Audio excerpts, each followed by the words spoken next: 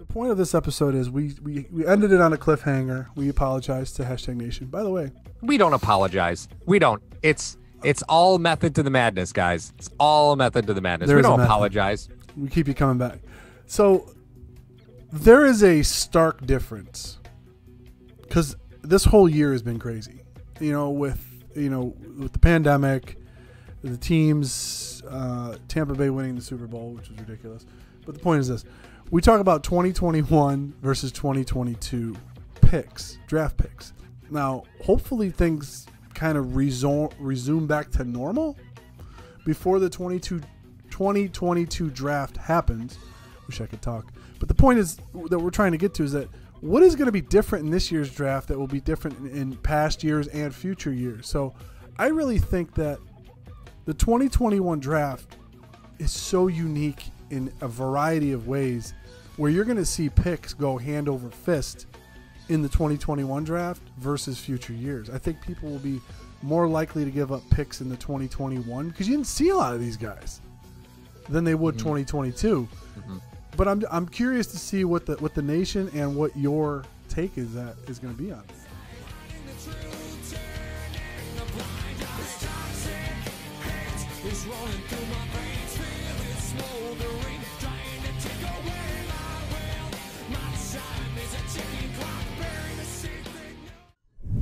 Hashtag Sports is proud to partner with Mr. Rogers Homes. Sean Rogers is a proud Western New Yorker and is now your Arizona relocation specialist. You can see his reviews as a top 1% agent on Zillow, Homes, and Trulia.com. Go ahead and download his free Arizona relocation guide found in the description of this video. Subscribe to his YouTube channel, and as Sean would say, God bless America and go Bills.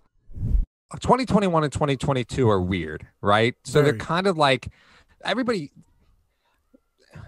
everybody looks at the draft and thinks that everything's equal, right?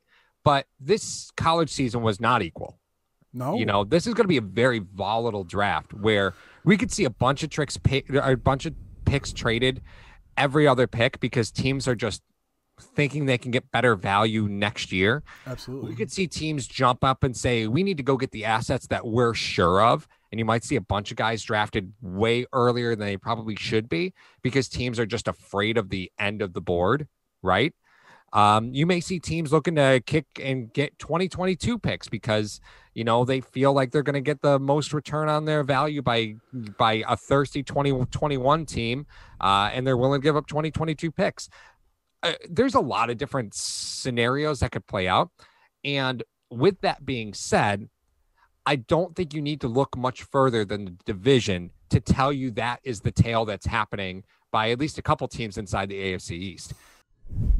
Now, the question, Mar, is what do the Bills think? Do the Bills mm. trust their scouting department? Do the Bill should the Bills trust their scouting department? Let's start with that. Should the Bills trust their board? Should the Bills trust their scouting department? I mean, we, we could talk about we could talk about the Tremaine Edmunds, the Trey Whites, the Josh Allens, the Matt Milanos, but with an asterisk because that was that Milano wasn't the current department that's in there. Um, we could talk about a lot of those guys, but then we can also talk about the Cody Fords. Yeah, I mean, I mean, I think people will agree by and large he's not met the expectation for a guy that was traded up for. sure. Um, Sure. Yeah, no, but, I agree. Yeah, you look within the division, but it's it's interesting to me to see the dynamic of okay. Do you trust your department? Yes, I think you do. I think you definitely trust your department, or else they wouldn't be working for you.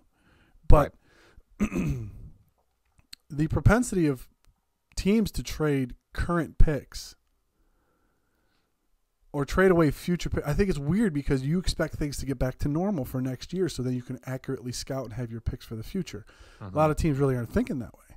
No, nope. Well, and this is sort of where things get a little crazy this year, right? Because most teams that they did play, they only played an abbreviated schedule. A lot of your top picks, they didn't play in 2021. They opted out. We cut a whole half hour episode on Joe Tryon. He opted out. There was no purpose of him playing, right? Mm-hmm. None. So you're talking about drafting a guy who didn't play football last year, right? No.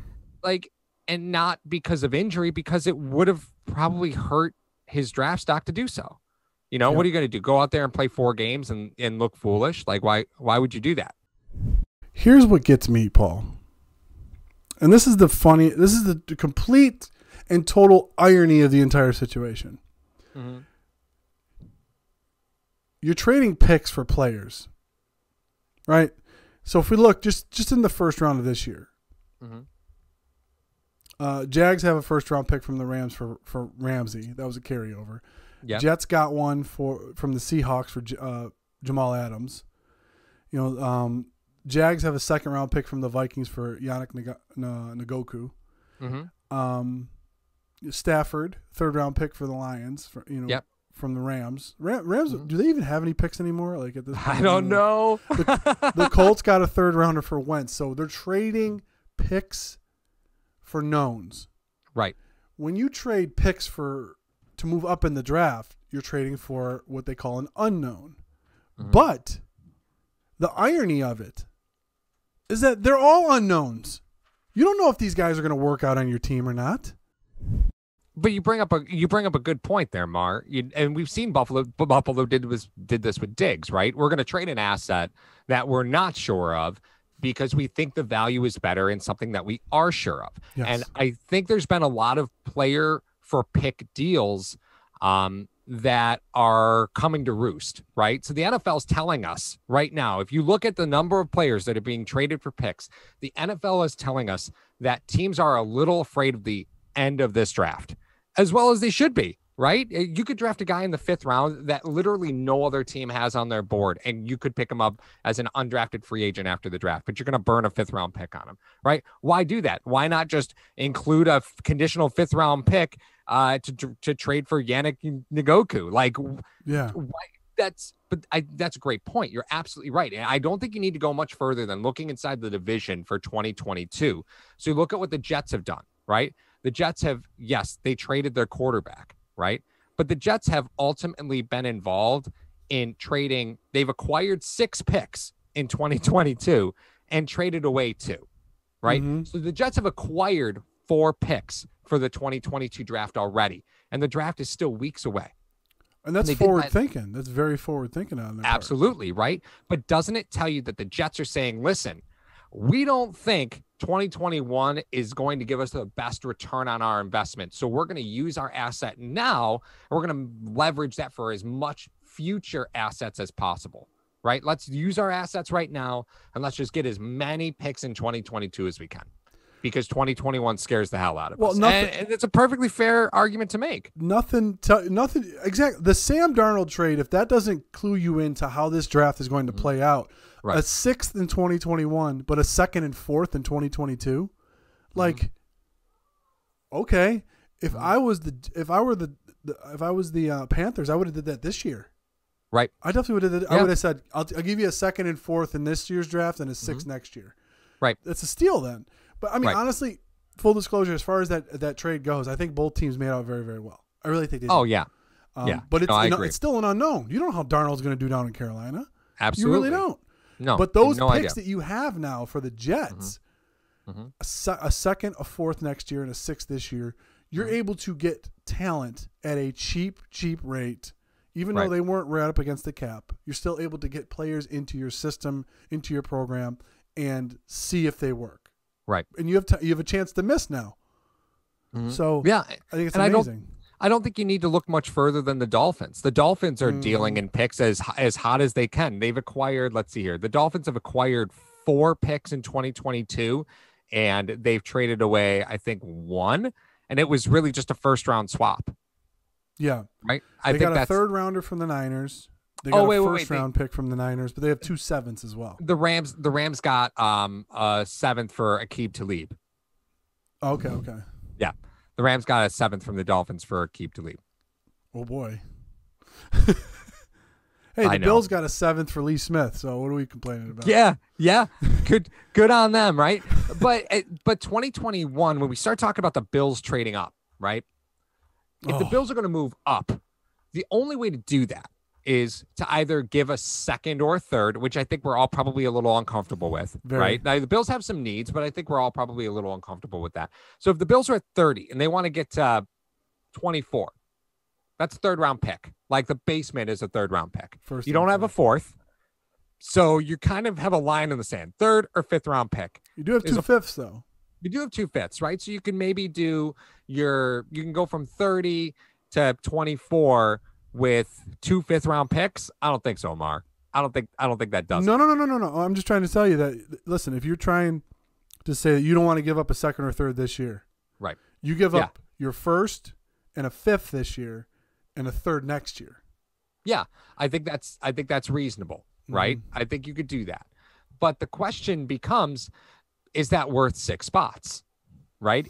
And anything outside of top 24, if you're trying to climb into top 20, top you know, try and get to 18, you're giving up uh, either a second round pick this year or you're giving up uh, your third round pick this year and the second round pick next year, like at the bare minimum, at the Wow. absolute bare minimum. And maybe we'll see lower picks being traded in 2022 because everybody knows those 2022 picks are just more valuable than the current draft picks. I would say that a fourth round pick in 2022 is more valuable than a second rounder in 2021. Oh, that's I'd say a third rounder in 2021. I think second round. That's Oh, because of the think that's a little conditionals. All right, Because all of right. the I'll, I'll right. concede to that. I'll concede to that. My point was that, that, but I was kind of using that to get my point across and say, listen, Mm-hmm. because of the unknowns, you are so relying heavily on your scouting department, on these Right. Zoom calls that you have with these guys. They're sending you videos. Unless you're at the pro day, you're not going to know what's going on. It's going to be so much tougher to try to scout and evaluate these guys and try to bring them into your system because you can't see them firsthand. Can you do that at the pro day? Yeah, but Yeah. how how how vast is your range? You know what I mean? Right. It's not like you get to see them all in a collection at the combine. I mean, that's always the easiest one. It's so, Mm-hmm. Right. but a third rounder in 2022, I will agree, it is more valuable than a second rounder in 2021. Mm-hmm. So if you were to move up, first of all, I don't think the Bills are one player away. So I don't think you mortgage this draft. Mhm. You know what I mean? So, oh, they gave up 30 and their second round pick to move up to 17. You know what I mean? I, Yeah. I think you hurt yourself because then there's a, a litany of picks that you have prior to when you're picking again. Mhm. But to move back and acquire picks in this draft, I don't agree with. If you wanted to move back and acquire picks next year, I'm all about it. Mhm. Because So you- you know you have some financial decisions to make in this offseason. So acquiring more picks for future consideration would help you even more. So I think that's an interesting thought process, right? Because a lot of times we see teams that build dynasties and they do it through the draft, right? And they set themselves up long term. And that's kind of what we always felt Beane and McDermott were doing. We're we're just always going to draft our future. That's it. We're just always Yeah. going to draft the next round and we're just going to keep hitting in the draft. And that's the whole goal. Yes. We're not going to be able to spend a lot of money in free agency. We're going to resign our own. We're starting to see some of that. But I think that comes with some risk. And that risk is that at some point, the draft is going to fail you, right? And you need to depend on your free agency group. Can the Bills go into the season with the roster right now? And can they punt any part of this draft? Do you think the Bills would return to the AFC championship game with the roster they have right now? I believe they can. Okay. So when you look at the draft, right? When you're at 30, getting an impact player at 30 for 2021 is really hard. Like I know you can call the outliers, Mm, but there's more guys who aren't first year impactful drafted outside of the 20th pick than there are guys who are impactful drafted outside of the 20th pick. I'm just saying. This is where I will go back to you. Do you your question you asked me, do you trust the Buffalo Bills scouting department? If you trust that they could find quality talent in the second and third rounds, because people will say trade back and acquire more picks, that just gives you the ability to miss on a few guys. That just—if you don't trust your department, or if you don't feel like there's a lot of talent, you want to double down. I understand that, but if you trust your department, now uh, you know to, to to to make the call of the guy of the specific need that you have. Now, if someone gives you a king's ransom for 30, okay, take it. want to trade out of there? it. Fine, to trade out of there. But the Buffalo Bills, this is why I say this, and we always harp on this all the time, but this is where the connection comes in. The Buffalo Bills for 2022 per over the cap, like this is the base salary cap being 203 million, all right? The Bills are 45 million dollars have 45 million dollars in cap space with 41 players on their roster. Hmm. What do we always say is the cheapest route for teams? The draft. Always. If you're if you foresee Edmunds and Allen, those contracts coming up that you're going to have to fill, you know what I mean? Whoop. If you, The Bruder film. Back and to the left. If you foresee that Allen and Edmunds are the guys you're going to have to pay, and then you see Oliver on the horizon, what better way to fill your roster? I know you want to fill in free agency, but you still got to take care of the, the of the franchise players that you drafted. You know what I mean? If Oliver, Edmunds, and Allen, uh, I assume Allen number one, and then Edmunds and Oliver are in your plans to be like, listen, we got to resign these guys. These guys are staples of our team.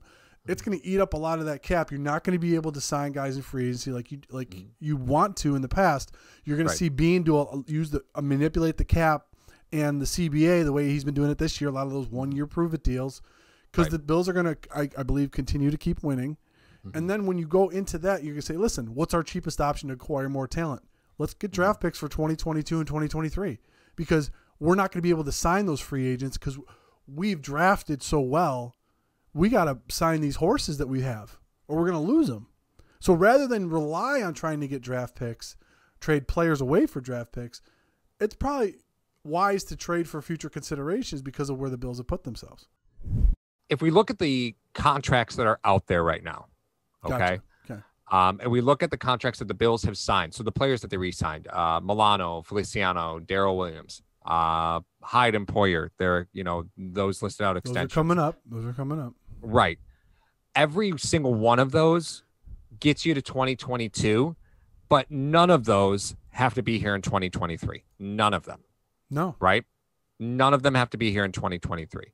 You look at Edmunds and Milano, right? I'm sorry. Um, you look at Edmunds and Allen, right? Allen's fifth year option is 2022. The Bills have not exercised Tremaine Edmunds' option for 2022.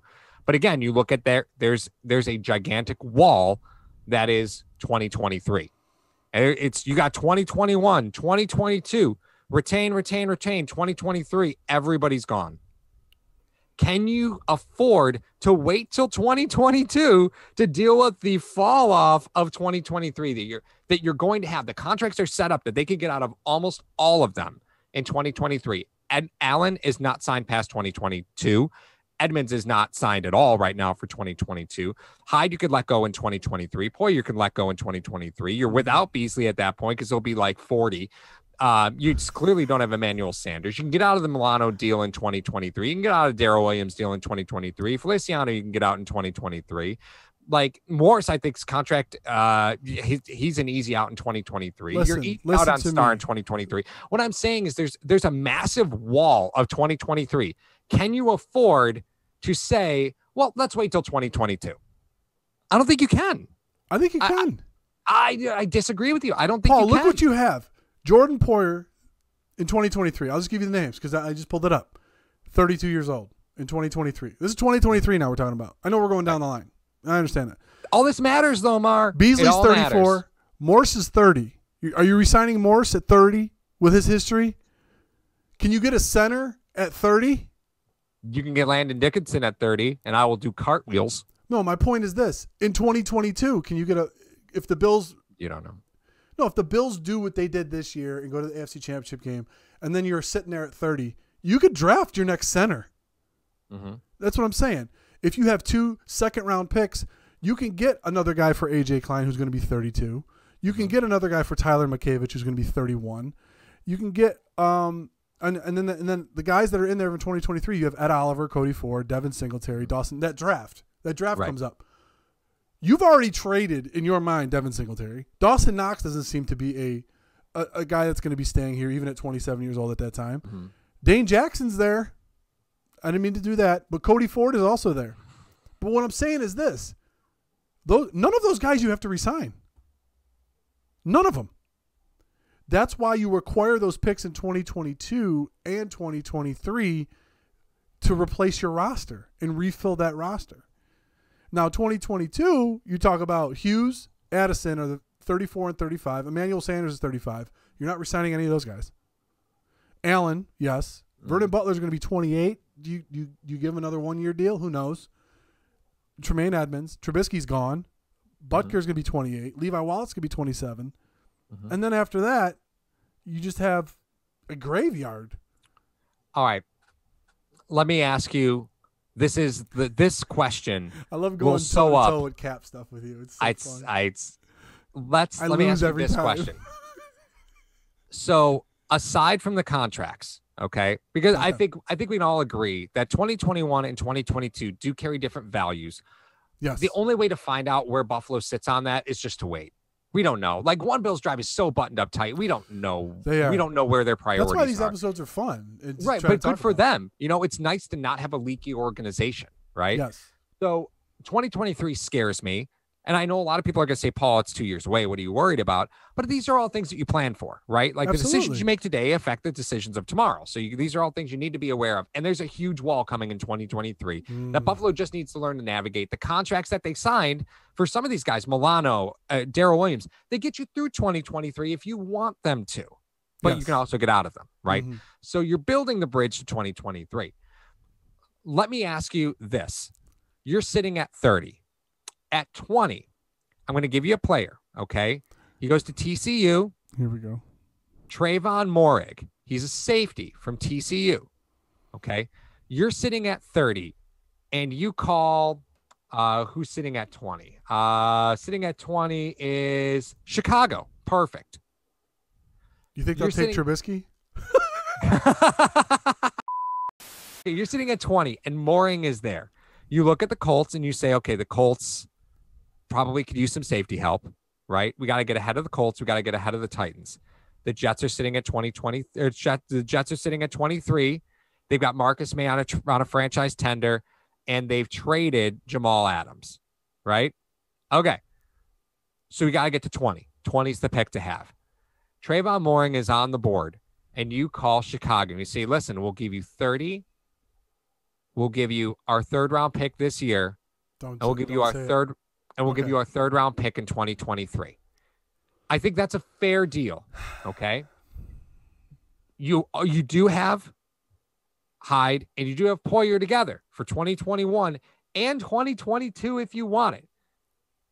Do you pull the tri- trigger for Trevon Moehrig from TCU, who's probably the best safety in this draft? I mean, not, not probably. He's clearly the best safety in this draft. Do you pull the trigger on that player? And I think that will tell you whether or not you trust the Bill scouting department or not. I think that question alone, will you give up one asset this year? Will you give up another player this year, a third round pick? Right. So that that episode we did on Joe Tryon, that was just that he's gone. right. You're gonna punt Tryon, just as an example. You're gonna punt you're gonna punt a player like that, right? To get Trevon Moehrig. And let me just give hashtag nation a little bit of a background. He is a junior. He's 6'1, 200 pounds, 33 bench press reps at his pro day. 33. He led the nation in pass breakups from the safety position, right? The guy's a hammer at the safety position, a hammer. Is that where you go? Do you give up a third this year and a third next year with 30 to jump to 20 to get ahead of two teams who are probably safety needy to draft the best safety in this draft? Is that what you do? Am I trading Devin Singletary for to replace that third next year? This move, this move is in a vacuum. You are move's in a not making any other moves.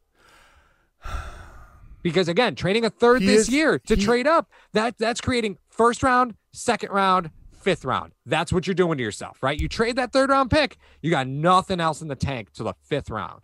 Are you doing it? That is, uh, it is tempting, but I will issue the question from hashtag Nation. If you have H- Poyer and Hyde until 2023, why do you do it? Why do you do it? If you got, you're planning for the future, you're gonna you're gonna trade up and trade two future guys that could be starters on your team for a guy that's not even gonna play in 2021 Mm-hmm. and maybe 2022. Mm-hmm. So you're trading two four year deals, affordable deals,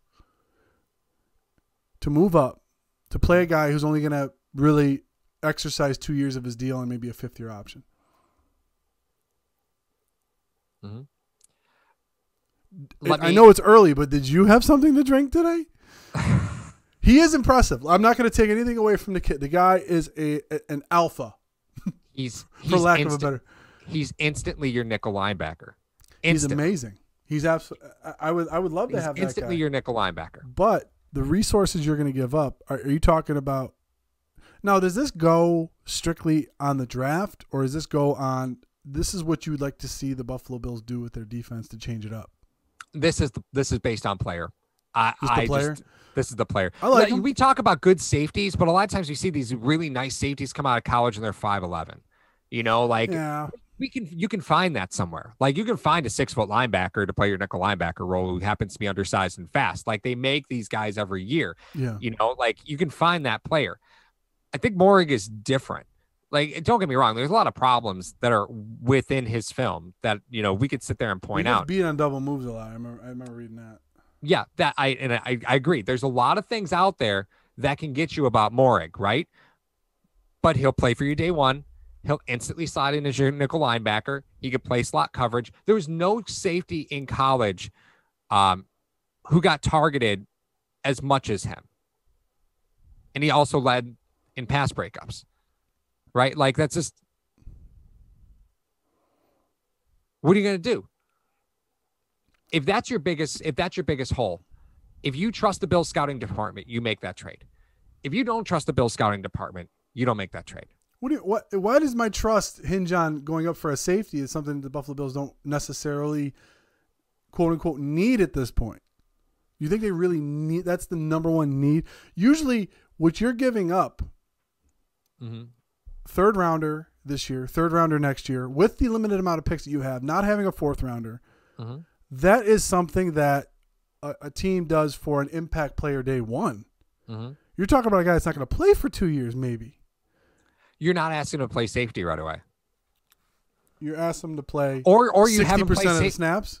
Or you're playing him at safety and Poyer drops down and is just your nickel linebacker for all time. And then when he gets injured, which will absolutely happen if you're, You're asking going to use that Poyer gear up really fast if you put Poyer in the box. You get that gear is going to get used up even faster. Oh, I know, I know. I'm not saying that's the way to go. I'm just saying that it's a possibility. Oh, I'm just uh, saying, yeah. Mar, uh, listen, he can start for you tomorrow in that role. he can start for you tomorrow. What do you do with Klein? Does Klein get the axe then? Who cares? I'm just saying. I'm just Who trying to say. cares? I'm trying. I'm the one that's trying to come at this from a financial standpoint. You're the one that's trying to chase players. the reason the reason I say that this is where you make the bet, right? Is if you're talking about setting up for future years, Yeah. right? You're going to leverage as many assets right now that are usable to set yourself up, right? If you think you're one player away on offense and one player away on defense, I think this is this is your biggest need, right? Free agent pass rushers are out there. The Bills don't ever go with elite level pass rushers. So the fact is that that kind of fits the mold of what they've done before. They you will just go out and find more guys who can rush the quarterback kind of okay. That's and that's where they live and die. They're going to live and die on coverage. They're not Yeah. going to live and die on pass rush. They're going to live and die on coverage and hope the pass rush gets there. That's the theory when you have two defense former defensive uh, former defensive backs as your head coach in DC. The coverage has to be really good. It So does. that's why I don't think that's why I think this move makes a lot of sense. How could you not want to do this? You're going to look at being at 30, you're going to get what the fourth, fifth corner off the board, Mar? Is that what you want to do? Do you want to get the fifth corner off the board? Uh, Yes. you got, yes. Correct me if I'm wrong. Where was Trey White? that that no, no, erroneous. Erroneous on both counts. erroneous on both counts. If you're telling me I'm going to get Moehrig, and then with my second round pick I take Tryon, I'm, I'm in. Sign me up.